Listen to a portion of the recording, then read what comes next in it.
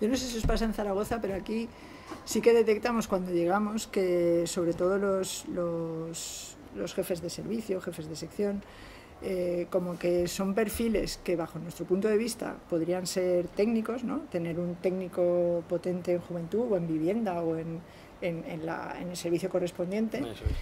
Y sin embargo, por, por, este miedo atroz que se le tiene a, a la responsabilidad jurídica, también por, por, la judicialización que está teniendo la política en este momento, que, que claro, siempre beneficia a, a, un sector, ¿no? porque al final la judicatura lo que es, pero sí que es verdad que, digamos que la capa, la capa de funcionarios, de jefes de sección a jefes de servicio, en, aquí en Valencia por lo menos, sí que son perfiles muy, muy técnicos, muy, muy técnicos jurídicos, me refiero. Sí, Ajá, sí, que, sí, que sí. no tienes un técnico especialista en la materia. En la materia, y claro, así, claro, tienes, tienes siempre que eh, sacarlo todo fuera, porque la persona que tiene responsable del servicio no, no sabe de la materia que tú estás, sabe de, eh, de alguna manera, eh, hacer lo que es la tramitación administrativa y que esté bien, ¿no? Y que, Y ya y que pase sí. no que forma, esté bien, no el fondo. exacto, sino que pase todos los controles Eso es, adecuadamente, ¿no? Pero al final es. el servicio en sí, eh, a nosotras sí que nos está costando mucho que, que salgan buenos pliegos, eh, que den un buen servicio, porque la persona que lo monta está más preocupada de no tener reparos de intervención o no tener reparos que de realmente el servicio que vamos a prestar. ¿no? Pues ahora hemos tenido también, Mm. hablando de ese tema, un- una Mm. curiosidad.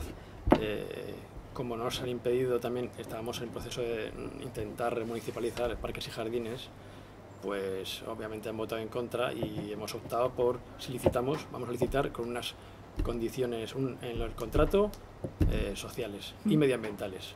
Eh, presencia de mujeres, de que entren en, en las zonas de trabajo masculinizados, eh, que se respeten mínimamente las normas medioambientales.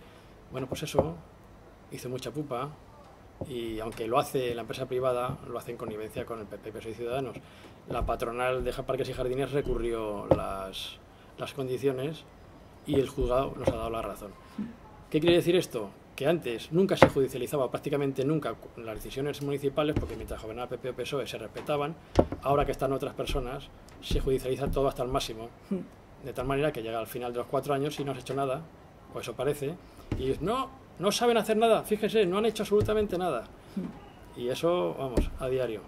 Sí, yo creo que es de las cosas que más está ralentizando la tramitación y que más difícil nos es de, de explicarle a la, ciudad- a la ciudadanía, porque al final yo creo que suena como excusa, ¿no? y, pero sin embargo es una, es una realidad. Es difícil Sí, sí. argumentarlo, Sí, ese es el problema. No es una idea fácil, Mm. Ellos manejan ideas fáciles en la prensa, aparte de que la prensa tampoco maneja nuestras ideas, no quiere. Sí, sí. No, es, es- al final es una experiencia del día a día que, que vas viendo.